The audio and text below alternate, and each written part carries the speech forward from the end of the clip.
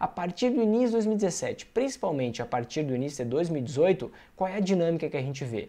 A gente vê tanto as ações quanto o dólar subindo tanto as ações quanto o dólar subindo. Por que, que as ações estão subindo? Porque a gente está saindo da maior crise da história brasileira. A maior crise que fez o preço das ações caírem absurdamente. Então os investidores locais brasileiros estão investindo muito em ações e isso está fazendo as ações subirem bastante.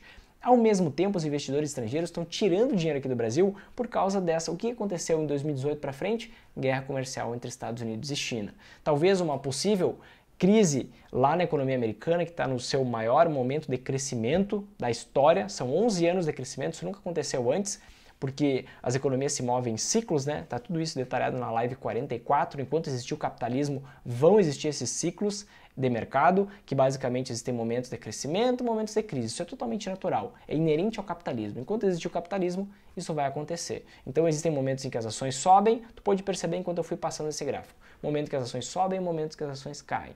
Momentos que o dólar sobe, momentos que o dólar cai. Tudo se move em ciclos. E aí o que, que a gente pode perceber? Ó? Mesmo os dois estando em alta, mesmo o dólar e as ações subindo juntos, eles se comportam em movimentos opostos. Quando o dólar sobe, as ações caem. Quando as ações sobem, o dólar cai. E a gente consegue ver essa clara correlação negativa que existe por aqui.